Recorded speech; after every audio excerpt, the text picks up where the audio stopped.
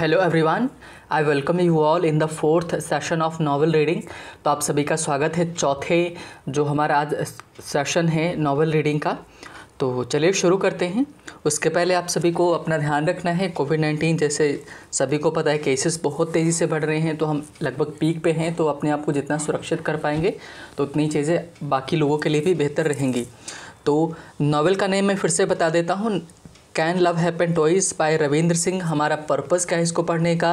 है ना कि हमारा पर्पज़ है learning English through reading novels है ना? चाहे वो स्पीकिंग हो ग्रामर हो वोकेबलरी हो डेली यूज़ के सेंटेंसेस हो डेली यूज़ वर्ड्स हो, इन सभी को हम इसमें सीखते हैं, है ना? और डिटेल्ड मैनर में और साथ में हम आपको word by word word explain करते हैं क्या क्या जो सारी चीज़ें इसमें इंपॉर्टेंट हो सकती है, सारे में बताता हूँ। तो चलिए शुरू करते हैं। तो कल हमने देखा था, कहाँ तक देखा था कि जो अमरदीप हैं, जिनके बारे में बताया जा रहा है, वो एयरपोर्ट है जो चंडीगढ़ का, उससे बाहर निकल कर आए हैं और काफ़ी ठंड थी, है ना? तो वही जो लास्ट सेंटेंस हमारा क्या था कि इट वॉज़ दैट कोल्ड और ये वो ठंड थी, इसके यहाँ तक हमने कल डिस्कस कर लिया था, हमने पढ़ा था। आज चलिए स्टार्ट करते हैं। तो आज लिखा हुआ कि एट द एग्जिट डोर तो वही एग्ज़िट डोर पर क्या था? The constant exit door at लिखा हुआ है तो मतलब जैसे डोर वगैरह आता हो तो वहाँ पर आप एट का इस्तेमाल करो कि एट द एग्ज़िट डोर ना कि ऑन द एग्ज़िट डोर होगा।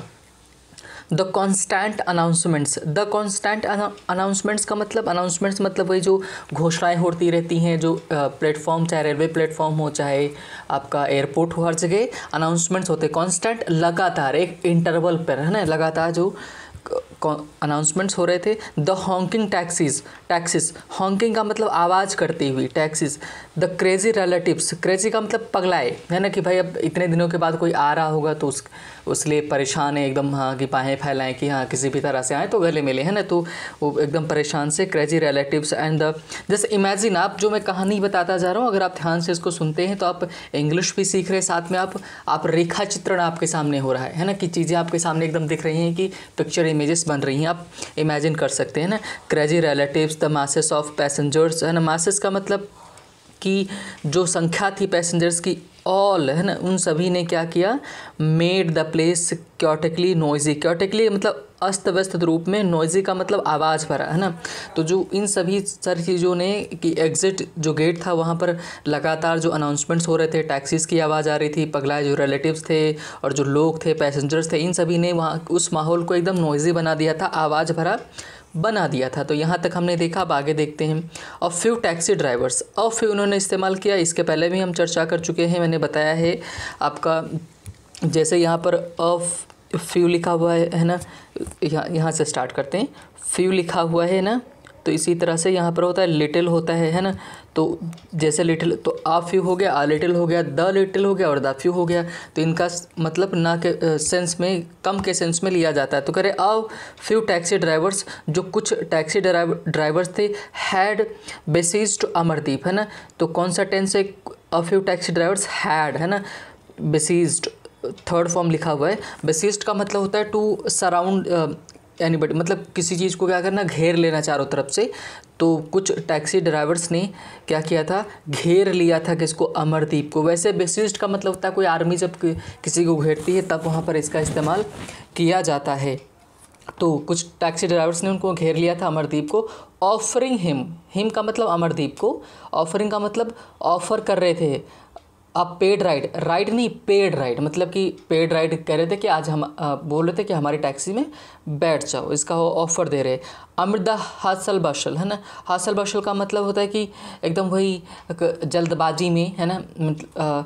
तो हासल बशल में क्या हुआ कि ऑफ़ गेटिंग अ पैसेंजर तो मतलब कि सब ड्राइवर्स परेशान थे कि भाई किसको, कौन सा पैसेंजर्स मिल जाए। आप इमेजिन करो, आप स्टेशन से बाहर आते हैं तो कितने सारे आपका बैग छीनने लगते हैं। Getting a passenger one of the drivers देखो ये इस ये एक्सप्रेशन याद रखना ग्रामर पॉइंट ऑफ़ व्यू से। वन के बाद ऑफ़ आया हुआ फिर हमेशा इसके बाद जो भी आएगा नाउन आएगा, वो काउंटेबल नाउन रहेगा और प्लूरल फॉर्म में ही रहेगा, है ना? तो one of the drivers almost और इसके बाद जो वर्ब आएगी, वो सिंगुलर रहेगी, ध्यान रखिएगा। वन ऑफ़ द ड्राइवर्स का मतलब कि बहुत सारे जो ड्राइवर्स थे, उनमें से एक ड्राइवर ने ऑलमोस्ट लगभग है ना? लिफ्टेड लिफ्ट का सेकेंड फॉर्म है लिफ्टेड का मतलब उठाना हिज बैग और उसका किस हिज बैग का मतलब अमरदीप का बैग एंड आस्ट और पूछा। मतलब कि उनमें से एक ड्राइवर ने अमरदीप का बैग उठाया और लगभग बैग उठा लिया तो पूछा, है ना? कि कितने जाना है पाजी? भाई, वहाँ पर कहाँ पर है? कि चंडीगढ़ में है तो पंजाबी देखने को मिलती तो उसने पूछा कितने जाना है पाजी? कि कहाँ जाना है? आपको ऐसा उसने बो, बोला है ना? हाँ इंग्लिश में बोले तो where do you want to go पाजी? है ना? मतलब डूड या बडी जो भी कह लो पाजी बोला जाता है। ये हो गया। अब चलते हैं हम आगे। आगे इन्होंने अब इतना तो हो गया। आगे देखते हैं तो ये तो ड्राइवर्स का रिएक्शन था। एक्शन था। अब रिएक्शन देखते हैं। अमरदीप क्विकली क्विकली जो आपका है है ना? रिटालिएटेड तो रिटालिएट यहाँ पर वर्ब है और वर्ब का सेकंड फॉर्म है, यानी कि पास्ट इंडाफिनिट है। क्विकली है मतलब एडवर्ब है है ना? तो एडवर्ब जो होता है कि किसकी विशेषता बताता है? वर्ब की विशेषता बताता है। तो अमरदीप ने तुरंत ही क्विकली का मतलब जल्द ही, तुरंत ही रिटालिएट किया रिस्पॉन्स किया, है ना? तुरंत ही जवाब दिया by snatching his luggage back from him है ना, कि स्नैचिंग छीन करके हिज लगेज अपना जो लगेज था बैक फ्रॉम हिम उससे, है ना। ये जो रिटेलिएट वर्ड है, ये रिटालिएट वर्ड आया था जब पुलवामा अटैक हुआ था तो जब उन्होंने अटैक किया तो इंडिया ने जवाबी कार्रवाई की थी तो वहाँ पर लिखा था कि इंडिया रिटेलिएटेड है ना, कि भारत ने क्या किया, जवाबी कार्रवाई की। तो रिटालिएट का मतलब ये हुआ, है ना। तो जब अमरदीप ने कैसे रिटालिएट किया? उसने अपना बैग है ना, छीन लिया। तो इससे हुआ क्या? जैसे विद दिस जस्चर जस्चर का मतलब होता है चेहरे का जो हाव भाव होता है, उसको बोलते हैं। कह रहे विद दिस जस्चर इस हाव भाव से ही सिग्नल्ड फिर पास्ट इन डेफिनेट आया उसने इशारा किया हिज डिसअग्रीमेंट वो क्या अपनी असहमति जता रहा था इसे टू टेक अ कैब मतलब कि भाई, अगर आप कोई ड्राइवर वहाँ पर आया है, आपका बैग लिया और आपने उसे अपना बैग छीन लिया और एकदम मुँह बना के दिखा रहे तो बेचारा खुद ही जान जाएगा कि ये हमारे साथ जाना नहीं चाह रहा है ना? तो ये हो गया। आगे देखते हैं। He then made his way out of the gathering अब फिर पास्ट इंडेफिनिट देखो आ गया। ही देन और तब उसके बाद मेड हिज वे अपना रास्ता बनाया मतलब कि चल दिए। मेक का सेकेंड फॉर्म है past indefinite out of the gathering जो भीड़ वहाँ पर गैदरिंग थी, उससे क्या हुआ, है ना? कि निकला वहाँ से। एक गैदरिंग वर्ड एक कॉलोकेशन देखो, जैसे फैमिली गैदरिंग होती है ना, कि लोग इकट्ठा होते हैं तो उसको फैमिली गैदरिंग बोल सकते हैं। आगे देखो in one hand he had his favourite Economic Times है ना? इन वन हैंड एक हाथ में क्या था? ही हैड तो यहाँ पर जो हैड है, ये वर्ब की तरह इस्तेमाल किया गया तो प्रेजेंट में आप इस्तेमाल करते हो हैव इसका सेकंड फॉर्म हैड होता है थर्ड फॉर्म भी हैड होता है, और आईएनजी फॉर्म हैविंग होता है है ना? तो ही हैड मतलब इन वन हैंड एक हाथ में क्या था? He had his favourite Economic Times इस अमरदीप के एक हाथ में उसका फेवरेट जो इकोनॉमिक टाइम्स था वो था and a half filled water bottle है ना, कि आधी भरी हुई हाफ़ फिल्ड वाटर बॉटल आधी भरी हुई, है ना, कि अब जैसे आप मैं, आपने बोला चाहो, जैसे आधी भरी हुई कप की चाय चाय का कप, है ना तो half filled means cup of tea है ना, ये आप बोल सकते हैं। फिल्ड वाटर बॉटल है ना while in other he held the handle of his field bag है ना? तो कह रहे कि एक हाथ में तो ये था इकोनॉमिक्स टाइम्स और हाफ़ फ़ील्ड वाटर थी वो और while in in the other दूसरे हाथ में क्या था? ही हेल्ड होल्ड का सेकेंड फॉर्म है। दूसरे हाथ में क्या पकड़े हुए था? The handle of his wheeled bag जो उसके पहियों वाला बैग था, उसका हैंडल पकड़े हुए था। विच देखो जो विच यहाँ पर आया, ये रिलेटिव प्रोनाउन है ना? ही रोल्ड रोल्ड का मतलब घुमाना in tandem with his work tandem का मतलब होता है क्रमशः क्रम में ऑर्डर में। जैसे आगे आगे वो चल रहा था, उसके पीछे पीछे उसी क्रम में बैग चल रहा था ना? तो टैंडम का मतलब ऑर्डर एकदम क्रम में विद हिज वर्क अपने वर्क के साथ। कहने का मतलब है कि जैसे आप बैग पीछे ट्रॉली बैग है, उसको लेके चलते हो तो आगे आगे आप जा रहे हो, पीछे पीछे बैग भी उसी क्रम में आ रहा है है ना? आगे देखते हैं। आगे कर देखें he walked up till the parking lot है ना? वॉकड अप इन्होंने बोला कि ही वॉकड फिर पास्ट इंडेफिनिट देखो आ गया। ही वॉकड अप टिल का टिल का मतलब तक। कहाँ तक? ये प्रपोजिशन टिल है है ना? तो उन्होंने ही वॉकड अप कहाँ तक गया? Till the parking lot parking lot का मतलब पार्किंग लॉट का मतलब जहाँ पर गाड़ी वगैरह खड़ी होती है where there was not much of crowd मतलब जहाँ पर there was not much crowd of है ना? कि वहाँ पर ज़्यादा क्राउड भीड़ नहीं थी। दो वर्ड होते, एक होता है mob M O B mob. Mob एक पर्पज से इकट्ठा होती है मान लो किसी को मारने के लिए हो, इसलिए मॉब लिंचिंग होता है ना।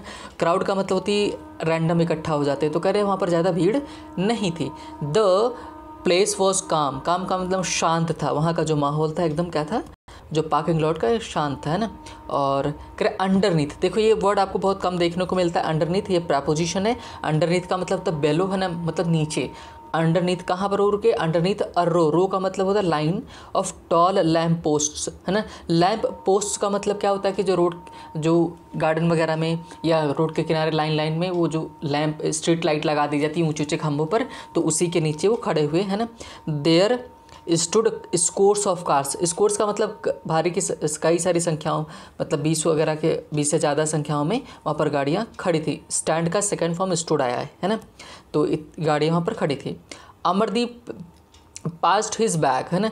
पास्ट का मतलब होता है कि तशरीफ़ लाना। तशरीफ़ लाना का मतलब क्या होता है कि Amardeep past his back against the bonnet of the first car in the series तो अमरदीप ने क्या किया? पास्ट इंडेफिनेट फिर से आया सेकंड फॉर्म अपना जो बैक पोर्शन था, पीछे वाला मतलब बैठ गया against the bonnet of the first car in the series तो जो लाइन लाइन गाड़ियाँ खड़ी थी, उन्हीं में गया, है ना? और वहाँ पर जाके खड़ा हुआ, अपना जो बैक पोर्शन था, उस गाड़ी के ऊपर रख दिया। मतलब तशरीफ़ ला के बैठ गए वहीं पर है ना? आगे. बाय देन और तब क्या हुआ? तब तक क्या हुआ? बाय देन तब तक, है ना? बाई देन तब तक। The expose expose parts of the body इसी से वर्ड बना एक्सपोजर जो हमारे चैनल का नाम है इंग्लिश एक्सपो विद विशाल तो एक्सपो का मतलब होता है एक्सपोजर और इसी से एक्सपोज मिला, है ना? तो तो एक्सपोज का मतलब एकदम खुला हुआ पार्ट था, है ना? तो जैसे मेरे चैनल का मीनिंग ये है कि आपको इंग्लिश से एकदम घोल मेल देना, है ना? ऐसा। Then the expose parts of his body उसके जो खुले हुए पार्ट थे उसकी बॉडी के हैड टर्नड कोल्ड और वो क्या हो गए थे? ठंडे हो गए थे, है ना? ठंडे पड़ गए थे। He placed the newspaper है ना कि फिर देखो पास्ट इनडेफिनेट का पास्ट इनडेफिनेट बार बार इस्तेमाल कर रहा है बार बार he placed the newspaper on the bonnet है ना? बॉनेट पर उसने क्या किया? कि न्यूज़पेपर रखा। फिर देखो एंड का इस्तेमाल किया। एंड क्या है? कॉन्जंक्शन है है ना? और कोऑर्डिनेटिंग कंजंक्शन है। Put the water bottle over it है ना? और बॉटल पुट रख दिया क्या? Water bottle over it over it का मतलब इट का मतलब न्यूज़पेपर न्यूज़पेपर के ऊपर क्या रख दिया? बॉटल रख दिया, है ना? टू प्रिवेंट प्रिवेंट का मतलब रोकने के लिए इट मतलब न्यूज़पेपर को फ्रॉम फ्लाइंग ऑफ़ उड़ने से, है ना? विद द विंड मतलब हवा चले चल रही थी तो इस वजह से न्यूज़पेपर ना उड़े तो जनरली हम क्या करते हैं कि बॉटल उठा करके उसे न्यूज़पेपर के ऊपर रख देते हैं, ताकि क्या हो कि वो उड़े ना, है ना? तो ये तो ये क्या डिटेल में बता रहे हैं। और लुकिंग हेयर एंड देयर और इधर उधर क्या कर रहे थे? देख रहा था इन सर्च ऑफ़ समन किसी को ढूंढ रहा था मतलब कि कोई आए। He rubbed his cold palms against each other हम क्या करते हैं, ठंडियों में अपने हाथ जो हथेली होते हैं, एक दूसरे के अगेंस्ट रगड़ते हैं। Breath out up of warm air to warm up दम और क्या करते हैं? हाथ रगड़ते हैं और मुँह से एकदम हवा छोड़ते हैं, है ना? गरम गरम, जो हाथों में ताकि हाथ क्या हो, गर्म हो जाए। वहीं इसने भी किया, है ना? A second later second seconds later और कुछ समय के बाद क्या हुआ? He pulled out his cellphone अपना सेलफोन निकाला फ्रॉम द पॉकेट पॉकेट से ऑफ़ ए जीन्स जीन्स के and switched it on to make call और स्विच ऑन किया to make a call call करने के लिए। आप मेक अ कॉल भी इस्तेमाल कर सकते हैं ना?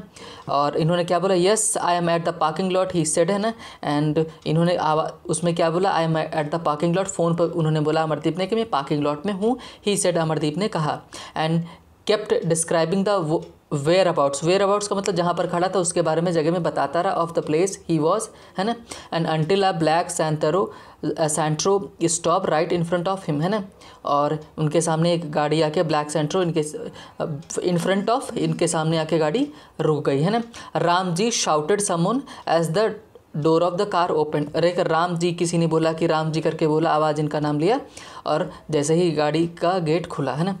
तो आप देख, अगले दिन हम देखेंगे कि कौन आया है उनके मतलब किसने इनका नाम बुलाया। मतलब राम जी करके बोला, आप देखते हैं कि राम जी ये कौन है, क्या नहीं हम कल देखेंगे, है ना? तो आज यहीं पर ख़त्म करते हैं, है ना? नहीं तो सेशन लंबा हो जाएगा। तो चलिए आज यहीं रखते हैं, तब तक के लिए अपना ध्यान रखें bye bye take care. Session पसंद आया हो तो आप लाइक और सब्सक्राइब कर सकते हैं।